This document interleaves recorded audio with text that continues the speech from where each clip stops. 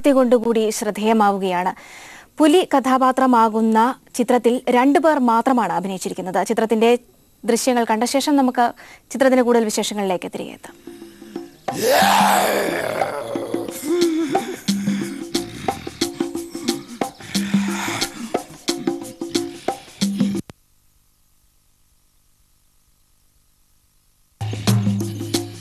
ചിത്രത്തിലെ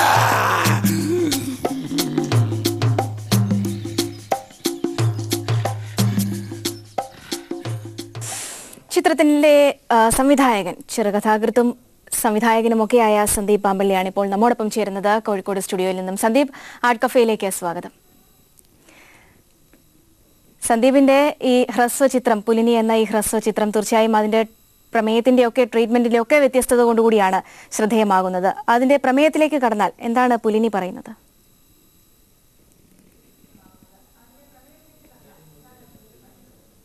ആഹ് ഇന്നത്തെ സമൂഹത്തിൽ ഒരുപാട് സ്ത്രീകൾ ആക്രമിക്കപ്പെടുന്നുണ്ട്.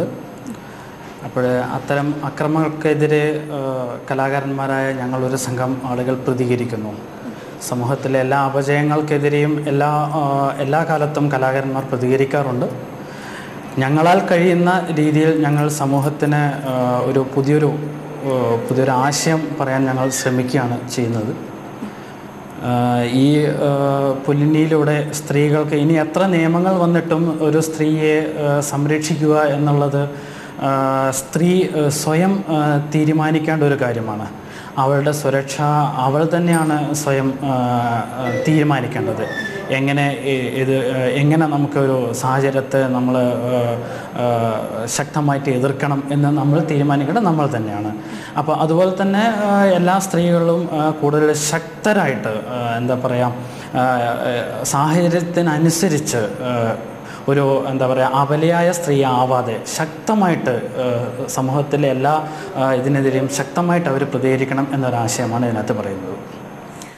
സന്ദീപ് ഇപ്പം നമുക്കറിയാം ഇപ്പോൾ അടുത്തിടെ ഉണ്ടായ ട്രെയിനിലെ വിഷയം സൗമ്യയുടെ വിഷയം ഉൾപ്പെടെയുള്ള കാര്യങ്ങൾ അതൊരു ഓർമ്മപ്പെടുത്തൽ മാത്രമാണ്. എന്നും ഇക്കാലത്ത് എന്നും ഇത്തരത്തിലുള്ള സംഭവങ്ങൾ സ്ത്രീകൾക്കെതിരെ ഉണ്ടായിട്ടുണ്ട്.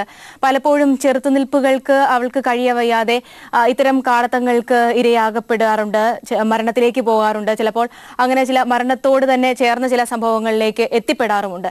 ആ വിധത്തിലൊക്കെ ഓർമ്മപ്പെടുത്തലുകളുമായി കാലം കടന്നു പോകുമ്പോൾ ഈ പുലിനി എന്ന് പറയുന്ന ഈ ഹ്രസ്വ ചിത്രം അത് സ്ത്രീയുടെ ഇത്തരം ഒരു ചിന്തയെ പ്രതികരിക്കണം ഇത്തരം പ്രശ്നങ്ങൾക്കെതിരെ അവൾ പ്രതികരിക്കേണ്ടതാണ് എന്നൊരു ചിന്തയെ എത്രത്തോളം ഉണർത്തുന്നുണ്ട്?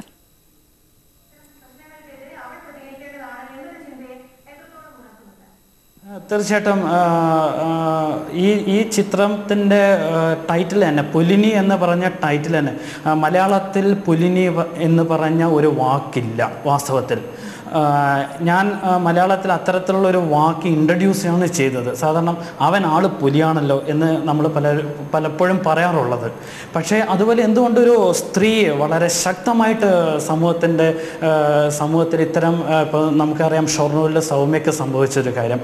വളരെ ആക്സിഡന്റലായിട്ടാണ് ഞങ്ങളുടെ വർക്കിന്റെ ഷൂട്ടിങ് കഴിഞ്ഞിട്ട് ഏതാണ്ട് ഒരു ഒരാഴ്ച കഴിഞ്ഞതിന് ശേഷമാണ് ഷൊർണൂരിൽ ഈ ഒരു സംഭവം ഉണ്ടാകുന്നത് അപ്പോൾ തീർച്ചയായിട്ടും ഒരു ഒരു ഒരു പെൺകുട്ടി എന്നുള്ള നിലയ്ക്ക് ആ പെൺകുട്ടിയുടെ ഒരു എന്താ പറയുക ഒരു ആ ആ പെൺകുട്ടിക്ക് നിസ്സഹായ ആ പെൺകുട്ടി കുറച്ചുകൂടിയെങ്കിലും ചെറുത്ത് ചെറുത്തുനിൽപ്പിന് എതിരെ പിന്നെ പിന്നെ ചെറുത്തുനിൽപ്പിന് വേണ്ടിയിട്ട് സജ്ജര സജ്ജമായിരുന്നുവെങ്കിൽ കുറച്ചും കൂടിയും നമുക്ക് പിന്നെ ആ കുട്ടിയെ രക്ഷിച്ചെടുക്കുവാൻ ആകാമായിരുന്നു. നമ്മുടെ സമൂഹത്തിന്റെ ഒരുപാട് സമൂഹത്തിലെ ആളുകൾ ഒരുപാട് എന്താ പറയുക ഇതിനെതിരെ ഇപ്പോഴും കണ്ണടച്ച് തന്നെയാണ് നിൽക്കുന്നത്. അപ്പോൾ കലാകാരന്മാരായ ഞങ്ങൾക്ക് ഒരിക്കലും ഇതിന് ഇതിനെതിരെ നമുക്ക് പിന്നെ അടങ്ങിയിരിക്കാൻ പറ്റില്ല. അതുകൊണ്ട് തന്നെ ഇതിന്റെ ക്യാമറമാനായ പ്രസാദ് കാവിൽപ്പാടും അതുപോലെ തന്നെ ഇതിൽ അഭിനയിച്ച കോഴിക്കോട് ദേവരി കോളേജിലെ ജെയ്സൺ അതുപോലെ തന്നെ മംഗലാപുരം സെൻട്രൽ സെന്റ് കോളേജിലെ താനിയ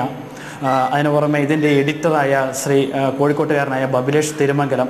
ഇവരെല്ലാവരും ചേർന്ന കൂട്ടായുള്ള ഒരു സംരംഭമാണ്. ഇപ്പോൾ നമ്മൾ അതിന്റെ ഒരു കൂട്ടായിട്ടുള്ള ഒരു ഡിസ്കഷന്റെ ഭാഗമായിട്ടാണ് ഞങ്ങളുടെ ഇത്തരം ഒരു തീരുമാനത്തിൽ ഞങ്ങൾ എത്തിച്ചേരുന്നത്. സന്ദീപ് ഇനി നമുക്ക് ആ ഹ്രസ്വ ചിത്രത്തിന്റെ ആ ഒരു ട്രീറ്റ്മെന്റിലേക്ക് വന്നാൽ സാധാരണ ഹ്രസ്വ ചിത്രങ്ങളിൽ കാണുന്ന ഒരു രീതിയല്ല നിങ്ങൾ വിഷയം അവതരിപ്പിക്കാനായി എടുത്തിട്ടുള്ളത്. ആ ഒരു പ്രമേയ ശൈലി ഒന്നുമല്ല ഉപയോഗിച്ചിരിക്കുന്നത്.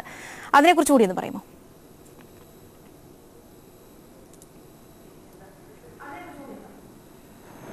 സാധാരണ ഒരു ഈ ഈ പുലിനിയുടെ ഒരു സബ്ജക്റ്റ് എന്ന് പറയുമ്പോഴൊരു വളരെ സാധാരണമായ ഒരു സബ്ജക്റ്റാണത്.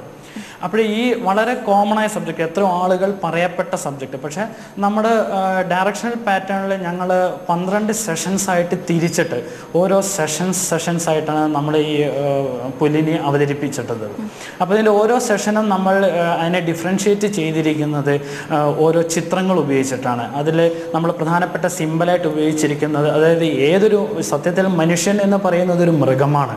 അപ്പോൾ മൃഗവും കാടും പ്രകൃതിയും ഒന്നിച്ച് ചേർന്നിട്ട് ആ പ്രകൃതിയെയും മനുഷ്യനെയും അതുപോലെ തന്നെ ഈ മനുഷ്യരിലുള്ള മൃഗീയതയും ഒരേ സമയം കാണിക്കാൻ പറ്റുന്ന രീതിയിൽ പന്ത്രണ്ട് സെഷൻസ് ആക്കിയിട്ട് ഒരുപാട് കാഴ്ചപ്പാടുകൾ ആഘോഷങ്ങൾ പുലിഗർജനങ്ങൾ പ്രണയം സെക്സ് എല്ലാം ചേർന്നുള്ള ഓരോരോ സെഷൻ സെഷൻസ് ആയിട്ടാണ് ഈ ചിത്രം അവതരിപ്പിക്ക അവതരിപ്പിക്കാൻ ശ്രമിച്ചിട്ടുള്ളത്. ഒരു സാധാരണ പറയുന്ന രീതിയിൽ നിന്നും വേറിട്ട രീതിയിൽ നമ്മൾ എല്ലാവരും പറയുന്ന വ്യത്യസ്തമായ ഒരു രീതിയിൽ ഞങ്ങൾ എല്ലാവരും ചേർന്നിട്ട് പറയാനുള്ള ഒരു ശ്രമം നടത്തിയതാണ്. ഒപ്പം രണ്ട് കഥാപാത്രങ്ങളിലേക്ക് എത്തുമ്പോൾ ചിത്രം കൂടുതൽ കോംപ്ലിക്കേറ്റഡ് ആവുന്നുണ്ടോ? പ്രത്യേകിച്ച് ആണ് പെണ്ണ് എന്നുള്ള ഒരു വേർതിരിവിൽ മാത്രം കഥാപാത്രങ്ങൾ എത്തി നിൽക്കുന്നു.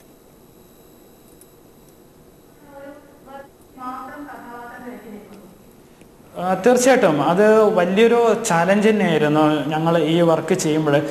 ഇതിന്റെ എഡിറ്ററായ ബബ്ലേഷ് തിരുമംഗലത്തും അതുപോലെ തന്നെ പ്രസാദ് കാവൽപ്പാട് വിപിൻ പുതി പുതുപരിയാരം ഞങ്ങളെല്ലാവരും കൂടി ഇരുന്ന കൂട്ടായ ഒരു ഡിസ്കഷനിൽ ഇരിക്കുമ്പോഴാണ് നമ്മുടെ ഞങ്ങളുടെ മ്യൂസിക് ഡയറക്ടറെ സി ദിലീപ്. ദിലീപ് എന്ന് പറഞ്ഞൊരു ഒരുപാട് സിനിമകളിൽ പശ്ചാത്തല സംഗീതം ഒരുക്കിയ സി ദിലീപ് ഒരുപാട് രാജമണി സാറ് വിദ്യാസാഗർ എന്ന് തുടങ്ങിയ അവരുടെ കൂടെയൊക്കെ വർക്ക് ചെയ്ത ദിലീപ് ഞങ്ങൾ കൂടിയിരുന്ന ഒരു കൂട്ടായ ഒരു ഒരു പിന്നെ സംരംഭമായിരുന്നു ഇത്.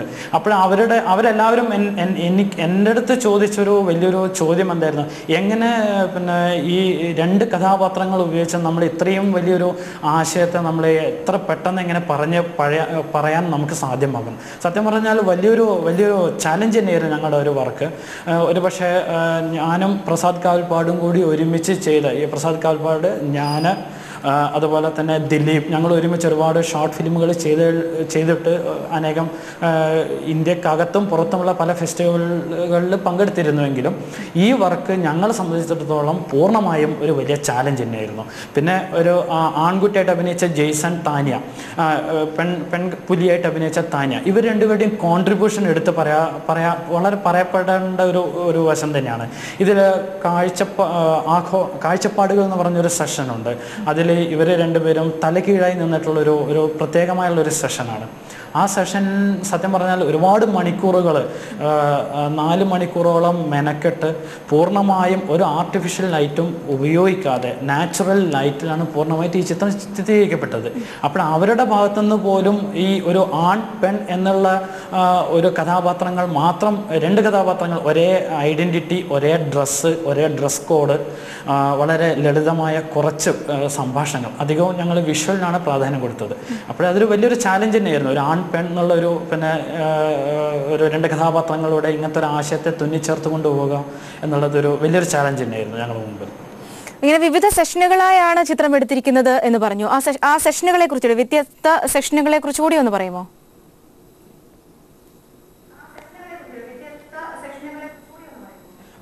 സെഷനുകളിൽ ആദ്യത്തെ സെഷൻ എന്ന് പറഞ്ഞാൽ പുലിയാത്രകൾ എന്ന് പറഞ്ഞിട്ടാണ്. അതായത് ഒരു മനുഷ്യന്റെ ജീവിതത്തിന്റെ പ്രധാനപ്പെട്ട ഭാഗത്തെ നമ്മൾ ഇൻഡിക്കേറ്റ് ചെയ്യാൻ വേണ്ടി ശ്രമിച്ചതാണ് പുലിയാത്രകൾ. അതായത് നമ്മൾ ആദിമകാലം വളരെ കാലം മുൻപ് തന്നെ നമ്മൾ ഒരു എന്താ പറയുക ഒരു കാട്ടിൽ വസിക്കുന്ന കാട പിന്നീടാണല്ലോ നാടായി തീർന്നത്.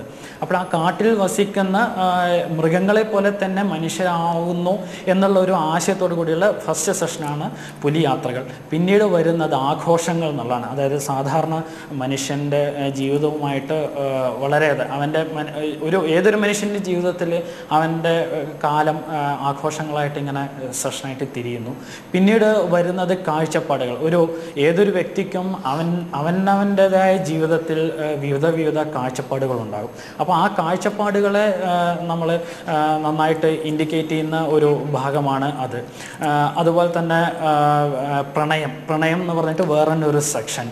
പിന്നെ ആ സെക്ഷന് ശേഷമാണ് യാഥാസ്ഥിതികമായ ജീവിതത്തിലേക്ക് ഈ ഒരു കാര്യം കടന്നു ചെല്ലുന്നത്. തുടർന്ന് എന്തുണ്ടായെന്ന് വെച്ചാൽ നമ്മുടെ ഇന്നത്തെ കാലത്ത് ഉണ്ടാകുന്ന കാലത്തെ ധ്വനിപ്പിക്കുന്ന രീതിയിലുള്ള യുവാക്കളുടെ യുവാക്കളുടെ ചാവല്യങ്ങളെയെല്ലാം എടുത്ത് കാണിക്കുന്ന പ്രണയം വഞ്ചന ചതി എന്ന് പറഞ്ഞുള്ള മറ്റ് വിവിധ സെഷനുകൾ.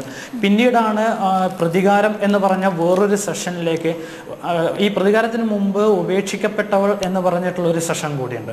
ആ സെഷനിൽ അവൾ ശരിക്ക് ഒരു അബലയായ സ്ത്രീയുടെ ഒരു ഘട്ടത്തിലേക്ക് എത്തിച്ചേരുകയാണ് ഉണ്ടാകുന്നത് പിന്നീട് തുടർന്ന് എന്തുണ്ടാകുമെന്ന് വെച്ചാൽ അവൾ സ്വയം സ്വയം ഈ എങ്ങനെ അവൾ ചതിക്കപ്പെട്ടുവോ അതേ നാണയത്തിന് അവൾ തിരിച്ച് തിരിച്ച് പ്രതികരിക്കുകയും അവൾ ഒരു പുലിയായിട്ട് ഒരു എന്താ എന്താ പറയുക സമൂഹത്തിനെതിരെ ശക്തമായ ഒരു പുലിനി അതാണ് ആ പുലിനി എന്നുള്ള ഒരു ടേം ഉപയോഗിച്ചത്.